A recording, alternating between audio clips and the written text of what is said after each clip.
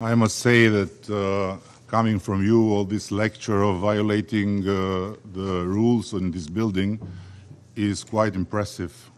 But uh, as far as you repeated uh, many times that uh, the violation here is about President Zelensky speaking uh, before the mem- council members, there is a solution for this if you agree.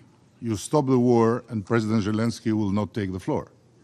What made him here important and what makes important for all of us to hear him first and then discuss is made from you, not from us. Thank you very much.